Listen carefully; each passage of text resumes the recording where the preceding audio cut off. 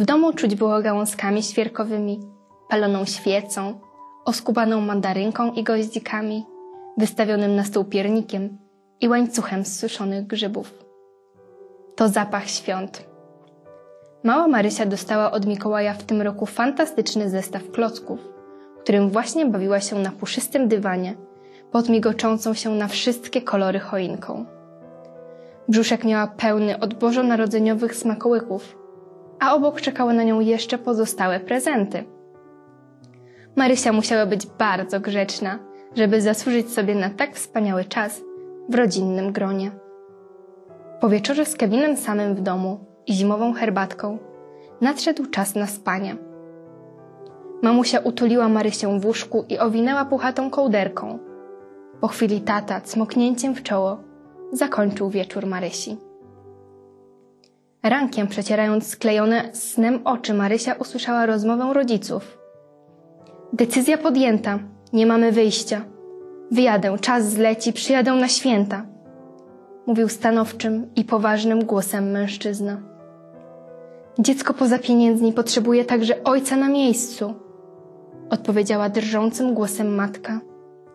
Nic mu po ojcu, który nie potrafi zapewnić rodzinie stabilizacji finansowej. Daj spokój. Marysia już wiedziała, co musi zrobić. Przez świąteczne wydatki tata znów planował wyjazd za granicę. Dziewczynka poszła czym prędzej do swojego pokoju, chwyciła pudło i zaczęła wrzucać do niego swoje zabawki, nową lalkę, maskotki, puzzle, a nawet wymarzone klocki, z których jeszcze wczoraj wybudowała zamek. Z tak zapakowanym tabunkiem wbiegła do salonu, przerywając dyskusję rodziców. Tato, nie musisz już nigdzie jechać. Sprzedamy zabawki i będziemy mogli urządzić kolejne święta, rzekła dziewczynka z przekonaniem pokazując pudło zabawek ojcu. Zaskoczony mężczyzna schylił się do dziecka i wziął pudełko.